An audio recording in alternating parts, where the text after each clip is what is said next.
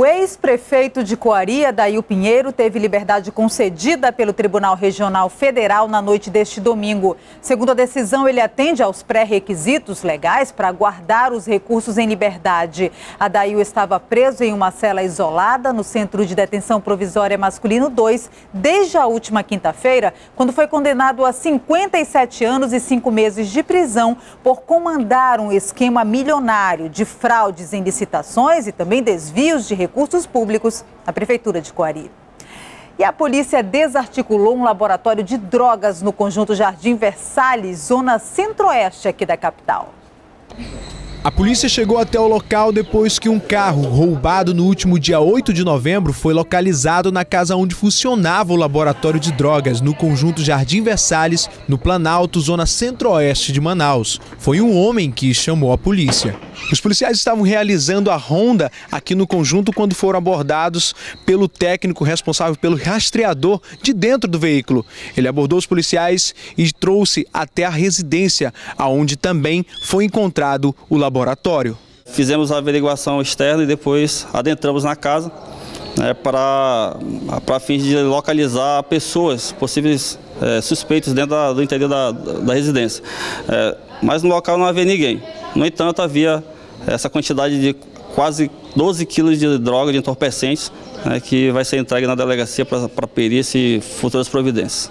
As drogas encontradas abasteceriam as bocas de fumo da capital.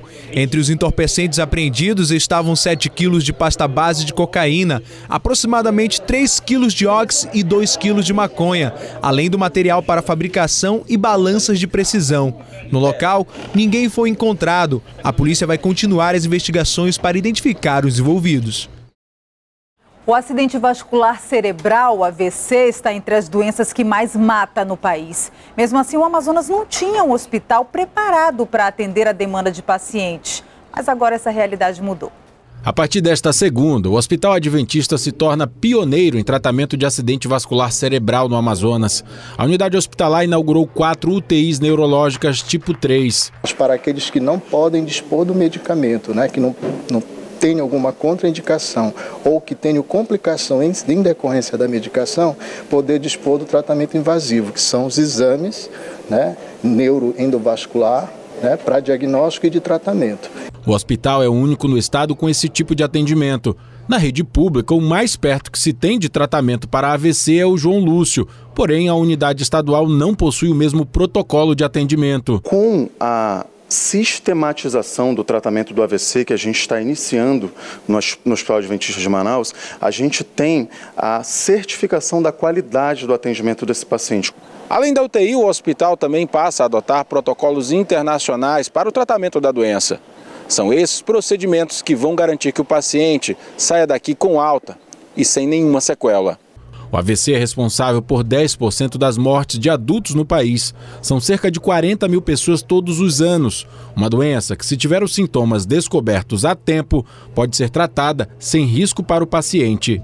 Esse paciente ele tem que entrar no hospital, em 20 minutos esse paciente já tem que ter uma tomografia, em 45 minutos já deve ver um laudo e avaliação do neurologista, e em 60 minutos esse paciente tem que estar sendo tratado. E olha só, um homem que se passou por médico para furtar o celular de um paciente no Hospital e Pronto Socorro João Lúcio, na zona leste de Manaus, está foragido. Nas imagens do circuito de segurança divulgadas pela Polícia Civil, o suspeito se apresenta como funcionário da unidade, se aproxima da vítima que está no corredor e leva o aparelho que estava embaixo do travesseiro. A Suzan informou que o homem não é funcionário do hospital. A família da vítima registrou um boletim de ocorrência. Informações sobre o suspeito podem ser feitas através do número 190. No próximo bloco, o supermercado da capital contrata idosos para vagas temporárias nesse final de ano. É depois do intervalo.